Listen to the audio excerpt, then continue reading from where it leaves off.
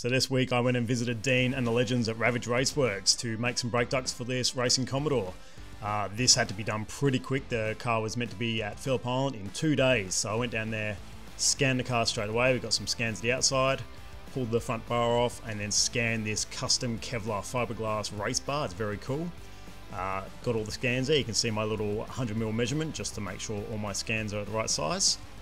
Uh, here's the inside of the bar. Basically made up this duct to fit. You can see the support underneath too to brace it, uh, and it fit brilliant. Now I had to curve it round the inside of the crash bar, and you can see here on this scan that little floating piece in the middle there, that is the crash bar. So I just made sure it cleared, and it did clear well. But uh, yeah, it was tight.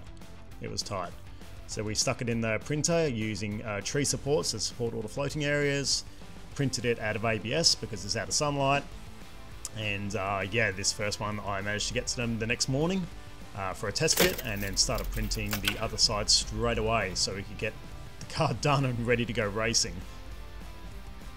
You can see here the test fit was absolutely perfect. The boys were stoked and I was really stoked with how it worked too.